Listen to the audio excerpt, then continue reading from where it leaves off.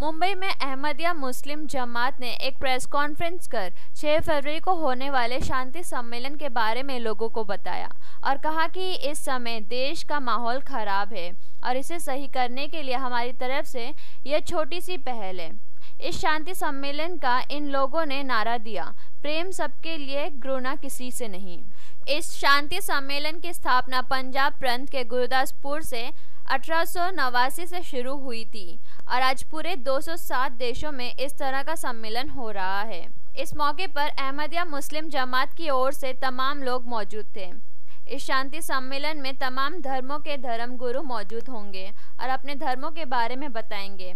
और लोगों को भाईचारा के साथ रहने की अपील करेंगे। इस तरह के शांति सम्मेलन अहमदिया मुस्लिम जमात हर साल करती आ रही है और देश के अलग अलग जगहों पर आयोजन होता है।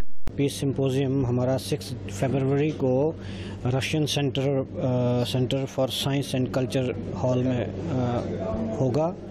और इसमें जो है वो तमाम बड़े बड़े स्कॉलर्स जो है मुख्तलिफ़ मजाहब के आएँगे और अपने अपनी रूहानी अपनी जो मजहबी किताब है उसके ज़रिए से पीस और अमन का पैगाम दुनिया को देंगे। सर क्या उद्देश्य क्या है? अहमदिया जो मुस्लिम जमात उनका उद्देश्य क्या है? और छः तारीख को जो आप शांति पहुँचाने के लिए उसमें कौन कौन आने वाले क्या सभी जाति धर्मों के धर्म गुरु आने वाले हमने यही कोशिश की है कि जितने भी धर्म गुरु यहाँ पर मौजूद हैं मुख्तलिफ़ मजाहब के उन सबको मदू किया जाए। लेटर्स के ज़रिए से उनको हमने बुलाया है। और कोशिश हमने यही करनी है कि अमन के पैगाम को पीस के पैगाम को दुनिया में फैलाया जाए।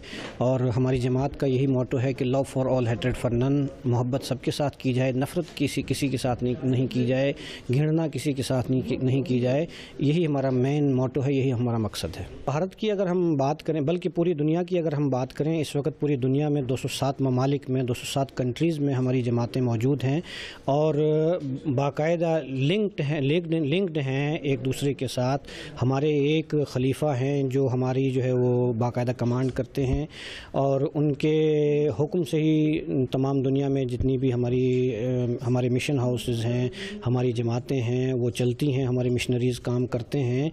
हिंदुस्तान भर में भी जितने भी मैं समझता हूँ स्टेट्स हैं, हर स्टेट में हमारे मिशनरीज़ काम कर रहे हैं, हमारे मिशन हाउसेज हैं और हिंदुस्तान भर में तकरीबन हमारी इस वक्त तेरह सौ के करीब हमारी जमातें, हमारी ब्रांचें मौजूद हैं।